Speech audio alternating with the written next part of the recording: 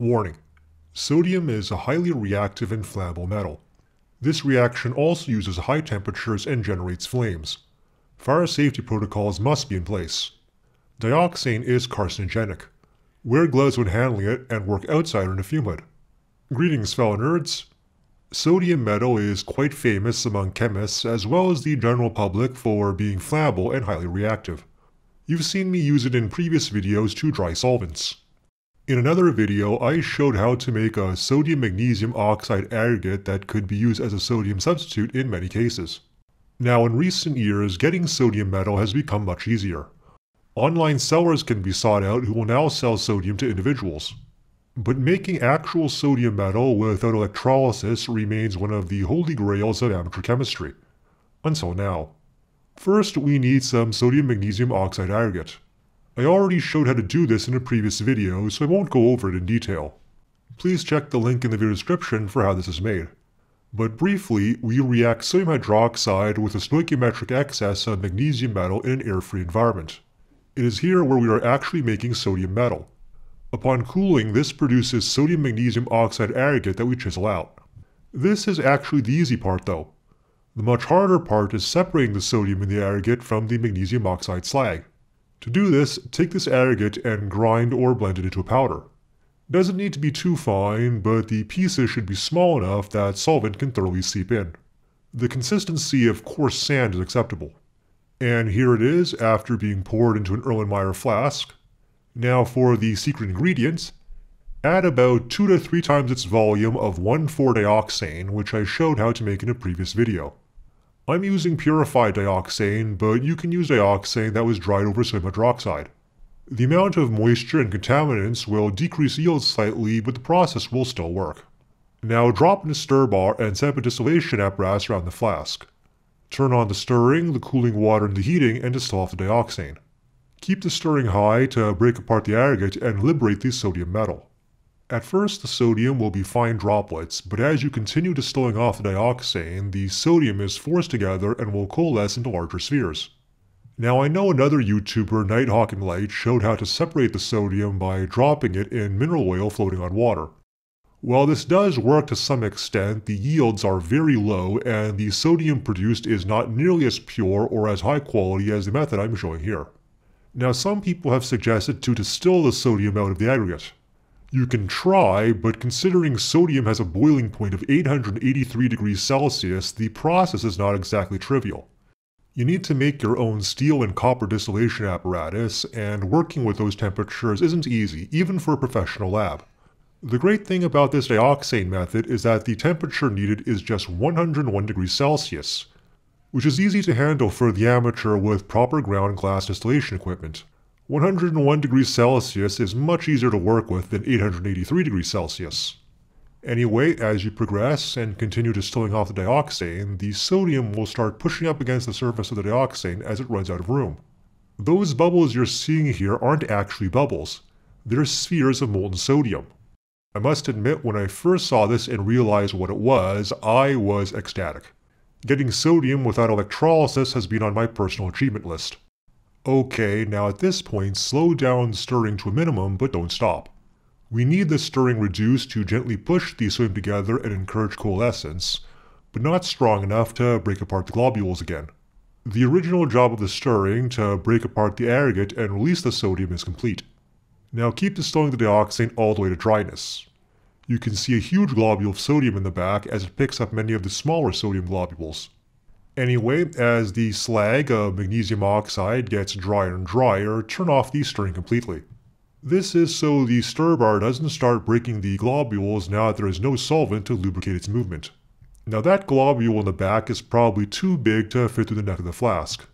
If you want, you can willfully restart stirring to break up large globules into smaller globules. I'm not going to do this though since the sizes are unpredictable. I'd rather have them in large sizes that I can manually cut down later, but the choice is yours. And here it is after all the solvent has been distilled off. The sodium looks perfect right now because it's molten and because the flask is currently full of dioxane vapor and very little air. So the surface hasn't been oxidized yet. Now you might be wondering why I'm using dioxane specifically for the sodium separation step. And would more common solvents like toluene, xylene, or mineral oil work? For some reason, dioxane works best for this. I and many other amateurs have tried all kinds of solvents over the years and we can only get minor quantities of sodium out, not enough to be useful. Here I am repeating the experiment with xylene. As you can see, there is almost no separation.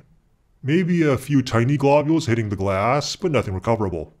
Now it might seem that dioxane's higher density to sodium is the key allowing the sodium to float out.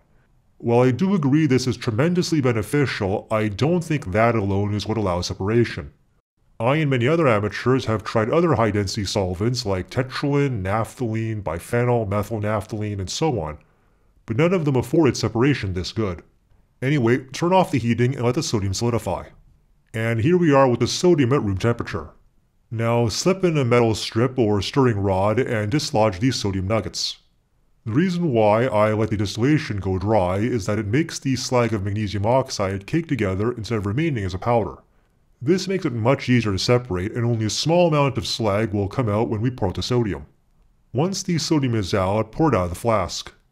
Looks like I was right and the large sodium nugget was too big to fit through the neck. I'm not disappointed though. Better to have a successful reaction problem than a total reaction failure.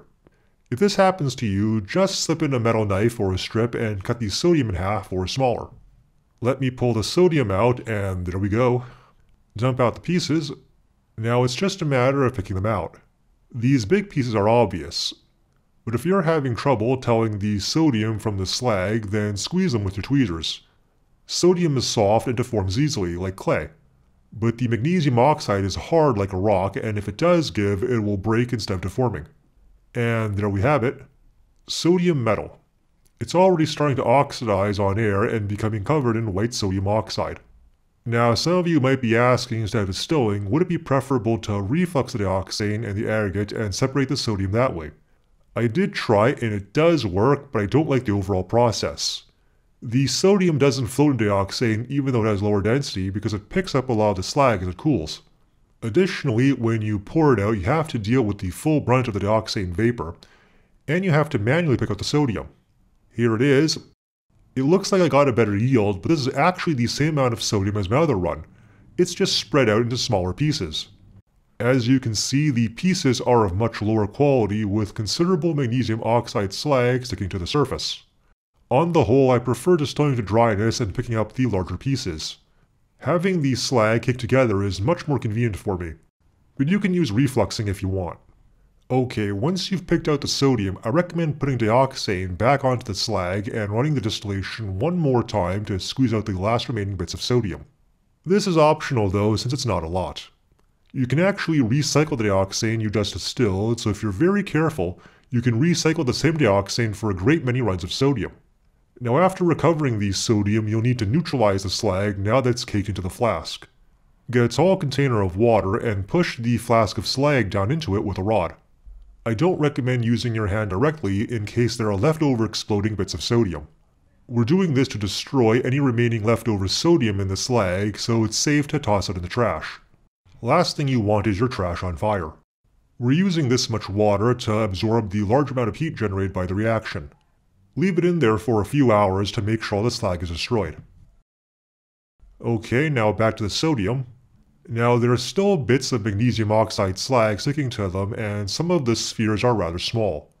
We can remove the slag as well as coalesce these smaller pieces although it's not strictly necessary for most purposes like solvent drying. Anyway, to clean and coalesce them, get some in a vial or a beaker and cover them in mineral oil. Then add in a small amount of isopropyl alcohol a few drops to start. Now heat up the mixture until the sodium melts. As the mixture heats up, it will bubble as the sodium reacts with the alcohol. The surface coating of sodium oxide and magnesium oxides will also react to produce various alkoxides that slough off the sodium. As the sodium melts, they'll pull together into spheres. They should get shiny, but if the bubbling dies down and the sodium is still dull, then add another shot of alcohol or manually stir it with a stir rod. It helps to turn on the hot plate stir even if there is no stir bar. The paramagnetism and eddy currents in the sodium will cause the spheres to spin and help to shake off the slag. You can also poke the spheres with a rod and coax them to coalesce. You can use any alcohol, and I actually tried a few different ones. The best ones I found for making the cleanest spheres were tertiary alcohols like T-butanol and T-amyl alcohol. Lighter primary alcohols like ethanol still work, but you need to stir them manually a lot more. Once the sodium is cleaned and coalesced, turn off the heating and let it cool. And there is our sodium sphere. And there it is, a pure sodium metal without electrolysis made with domestically available chemicals. Now store the sodium in mineral oil or other inert solvent. You can even use the heptane we obtained from starter fluid in an earlier video. Otherwise, the sodium will slowly react with air and get covered in sodium oxides and hydroxides. If you store it for too long, they'll be destroyed completely. Now if you don't want large spheres and actually want small spheres of sodium, then the cleaning process is much simpler. First scrape off as much of the slag as possible by hand, and then boil the sodium dioxane. You can even stir the mixture to encourage the breakup of the sodium. This will produce smaller spheres of sodium. They're useful for reactions where you need large surface area, but aren't good for long-term storage since larger surface area means they also decay faster as they react with air and moisture. Anyway, I'm going to clean up and coalesce the rest of my sodium. As mentioned before, this is optional for most purposes. You can simply cut off the slag on the larger pieces if you really need fresh clean sodium. For purposes like drying solvents, the slag has no effect. I'm going to clean all my sodium since I want a nice trophy of my accomplishment. And here's my sodium from three different runs stored under mineral oil. That strange texture on the surface is actually crystallization lines. To do that indicates the sodium is exceptionally pure. You might be wondering what the yield is. For initial reaction of 40 grams of sodium hydroxide and 30 grams of magnesium metal, I was able to obtain a final recovered yield of 9.5 grams or 41% based on sodium hydroxide. While some of the loss is from irrecoverably small sodium particles in the slag, I think most of the loss is from the initial production method. Air can get in and destroy the sodium during the initial cooldown, and I'm sure a lot of air destroyed the sodium during the grinding step. I didn't cover dioxane since my blender is plastic and would have been destroyed. But I'm not too worried about overall performance. I think being able to get 41% yield out of an air-sensitive reaction done in a soup can is in itself amazing. This method gives the amateur chemist access to sodium even more easily and quickly than electrolysis of molten sodium hydroxide.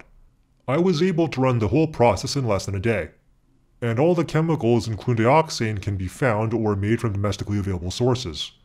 The dioxane is made from antifreeze, the sodium hydroxide is from drain cleaner, and the magnesium can be obtained from fire starters. So on the whole, sodium is now accessible to the amateur chemist. Now some might ask if you can use dioxane for the catalyzed magnesium reduction method of making alkali metals like potassium. I tried doing it with sodium and it didn't work. But then again, this reaction is notorious for being difficult to reproduce, so my failures may not be indicative of actual plausibility. Anyway, now that we're on the topic of other metals like potassium, could the high temperature reduction method also work for potassium and other alkali metals? Yes, it would, and I'll make a video on those metals as well. But for now, I hope you enjoyed my video on how to make sodium without electrolysis using domestically available chemicals. Thanks for watching.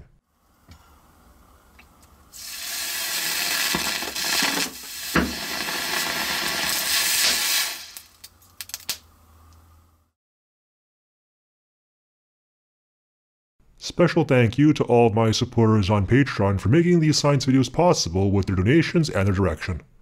If you're not currently a patron but would like to support the continued production of science videos like this one, then check out my Patreon page here or in the video description. I really appreciate any and all support.